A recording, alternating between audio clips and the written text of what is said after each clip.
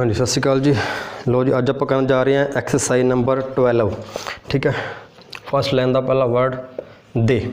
They should ask the head head of of gram ਲੋਗ up of the academy A, ਕੈ ਤੇ D ਤੇ ਮੀ। Academy academy to change J N ਤੇ J change the date D ਤੇ T date stop.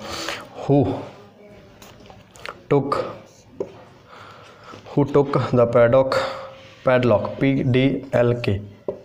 Padlock of of ਇਹ of ਦੂਸਰਾ ਆ double F ਵਾਲਾ ਆਪਾਂ ਪੂਰਾ ਪਾਵਾਂਗੇ of of the gate gate of ਇਹ ਸਿੰਪਲ ਆਫ ਉਹ ਉਹ ਤੇ ਐਫ ਵਾਲਾ of the padlock P D oak padlock stop ਠੀਕ ਹੈ, ਤੁਸੀਂ ਹਰੇਕ ਲਾਈਨ ਨੂੰ ਨੈਕਸਟ ਲਾਈਨ ਦੇ ਵਿੱਚ ਲਿਖਣਾ, ਇੱਕ ਲਾਈਨ ਦੇ ਵਿੱਚ ਦੂਜੀ ਲਾਈਨ ਨਹੀਂ ਵੜਨੀ ਠੀਕ ਹੈ, ਫਿਰ ਪਾਰਟਸ ਨਹੀਂ ਹੋਣੀ ਸਹੀ।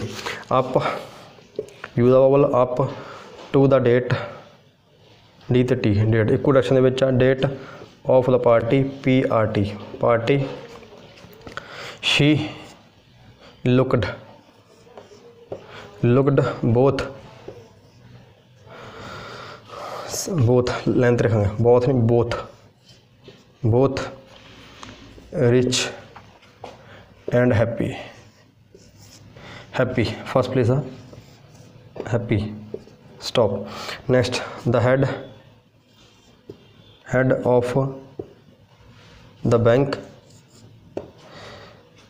bank light out uh, light that length bank bank may leave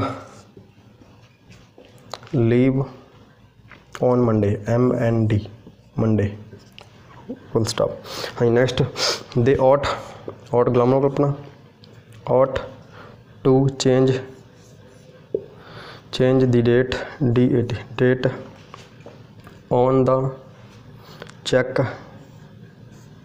check to the to अपना लेंते हैं to the fourth f it or fourth of the month m n ਤੇ it month ਹਾਂਜੀ ਸਟਾਪ ਇਹ ਆਪਾਂ ਕੀ- ਆਪਾਂ ਐਕਸਰਸਾਈਜ਼ ਕੀਤੀ ਅੱਜ ਐਕਸਰਸਾਈਜ਼ ਨੰਬਰ 12 ਠੀਕ ਹੈ, ਜਿਹਦੇ ਵਿੱਚ ਪੰਜ ਲੈਣਾ ਸੀਗੀਆਂ, ਇੱਕ ਲਾਈਨ ਦੇ ਪੰਜ ਪੰਜ ਪੇ ਭਰਨੇ ਆ 25 ਲੈਣਾ ਆਪਾਂ ਕਰਨੀਆਂ, ਠੀਕ ਹੈ ਪੈਡਸ ਕਰੋ ਸਪੀਡ ਵਧਾਓ ਸਪੀਡ ਬਣਨ ਤੋਂ ਬਿਨਾ ਸਟੈਨੋ ਕੀਤੇ ਦਾ ਕੋਈ ਫਾਇਦਾ ਨਹੀਂ ਹੈਗਾ ਜੌਬ ਤਾਂ ਹੀ ਮਿਲਣੀ ਜੇ ਸਪੀਡ ਬਣੇਗੀ, ਠੀਕ ਹੈ, ਜੇ ਆਪਾਂ ਇਕੱਲੀ ਬੁੱਕ ਕੰਪਲੀਟ ਕਰ ਲਈ ਤੇ ਸਪੀਡ ਨਾ ਬਣੀ, ਫਿਰ ਆਪਾਂ ਨੂੰ ਕੋਈ ਫਾਇਦਾ ਨਹੀਂ ਰਹਿਣਾ ਰਾਈਟਿੰਗ ਤੁਹਾਡੀ ਸਾਫ਼ ਹੋਣੀ ਬਹੁਤ ਜ਼ਰੂਰੀ ਹੈ।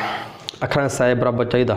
ਠੀਕ ਹੈ ਜਿਵੇਂ ਜਿਵੇਂ ਅੱਗੇ ਵਧਾਂਗੇ, ਫਿਰ ਆਪਾਂ ਇਹਨਾਂ ਨੂੰ ਹੋਰ ਸ਼ਾਰਟ ਕਰਨਾ ਆ। ਉੱਥੇ ਪ੍ਰੋਬਲਮ ਆ ਜਾਊਗੀ ਇਸ ਕਰਕੇ ਜਦੋਂ ਵੀ ਪ੍ਰੈਕਟਿਸ ਕਰਨੀ ਹੈਗੀ ਹੈ ਸ਼ੇਪ ਐਗਜ਼ੈਕਟ ਬਣਾਉਣ ਦੀ ਕੋਸ਼ਿਸ਼ ਕਰਨੀ ਆ। ਇਹ ਨਾ ਹੋਵੇ ਕੋਈ ਨਹੀਂ ਚੱਲ ਚੱਲ ਜੂਗਾ ਚੱਲਣਾ ਨਹੀਂ ਹੈਗਾ, ਜਿਵੇਂ ਜਿਵੇਂ ਅੱਗੇ ਵਧਾਂਗੇ ਜਾਂ ਅੱਖਰ ਛੋਟੇ ਹੋ ਜਾਣੇ ਆ, ਠੀਕ ਹੈ ਇਹਨਾਂ ਦਾ ਮੀਨਿੰਗ ਚੇਂਜ ਹੋ ਜਾਣੇ ਆ। ਉੱਥੇ ਪ੍ਰੋਬਲਮ ਆਊਗੀ, ਇਹਨੂੰ ਪੜ੍ਹਨਾ ਕਿਵੇਂ ਹੈਗਾ? ਵੱਡੇ ਅੱਖਰ ਦਾ ਮੀਨਿੰਗ ਕੁਝ ਹੋਰ ਆ, ਛੋਟੇ ਦਾ ਮੀਨਿੰਗ ਕੁਝ ਹੋਰ ਆ। ਠੀਕ ਹੈ ਜਿਹੜਾ ਸਟੈਂਡਰਡ ਸਾਈਜ਼ ਜਿਹੜਾ ਲਿਖ ਰਹੇ ਆਪਾਂ, ਇਹਦਾ ਮੀਨਿੰਗ ਇਹ ਹੈਗਾ ਆ। ਇਸ ਕਰਕੇ ਹੁਣ ਤੋਂ ਹੀ ਆਪਾਂ ਜਿਹੜੀ ਰਾਈਟਿੰਗ ਹੈ ਆਪਣੀ ਸਾਫ਼ ਰੱਖਣੀ ਹੈ ਸਪੀਡ ਤੇ ਲਿਖਣਾ ਹੈਗਾ ਤੇ ਗ੍ਰਾਮ ਬਲੌਗਸ ਵਗੈਰਾ ਨੂੰ ਯਾਦ ਕਰਕੇ ਅੱਗੇ ਤੁਰਨਾ ਹੈਗਾ ਠੀਕ ਹੈ ਜੀ ਥੈਂਕ ਯੂ